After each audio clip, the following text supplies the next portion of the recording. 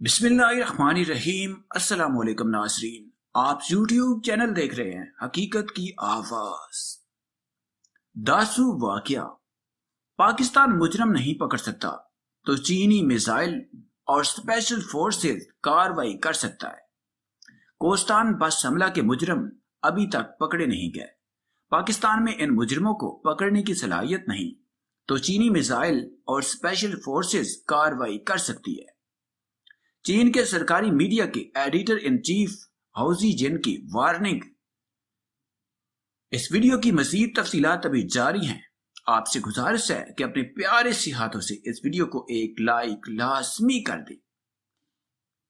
चंद रोज कबल दासू डैम में काम करने वाली कंपनी की बस हादसे का शिकार हो गई थी।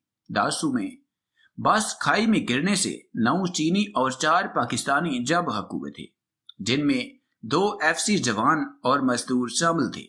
अगरचे हादसे की तहकीकात अभी तक जारी है। तहम आगाज़ में इसे पाकिस्तानी हुकूमत की जानब से हादसा करार दिया गया था। लेकिन गैर मुल्की मीडिया ने इससे बरक्स रिपोर्ट करते हुए दावा किया था कि बाकायदा मनसूबाबंदी के तहत चीनी वर्कर की बस को हमले का निशाना बनाया गया। वफाकी वजरा की जानब से भी वाक़े पर मुख्तलिफ़ रद्द अमल देखने में आया। जैसे काफ़ी तशवीश भी पाई गई। वफाकी वज़ीर इतलात फवाद चौधरी ने कहा कि दासू वाक़े पर इब्तदाई तहकीकात ने धमाका खेस मवाद की मौजूदगी कन्फर्म की है। वाक़े में दहशत गर्दी का पहलू नजरअंदाज नहीं किया जा सकता। इस तमाम तर सूरत में चीन ने भी दासू वाक़े की तहकीकात में शामिल होने का फैसला किया।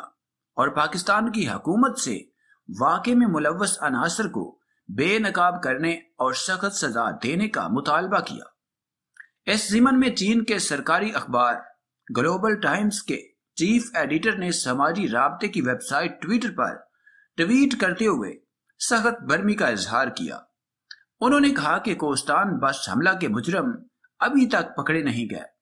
अगर पाकिस्तान में इन मुजरमों को पकड़ने की सलाहियत नहीं है तो फिर चीनी मिसाइल और स्पेशल फोर्सेस कार्रवाई कर सकती है। चीन के सरकारी मीडिया के एडिटर इन चीफ हौजी जिन ने ये बात खबर शेयर करते हुए की। जिन में कहा गया कि पाकिस्तान में बस पर दहशत गर्दाना हमले की तस्दीक हो चुकी है।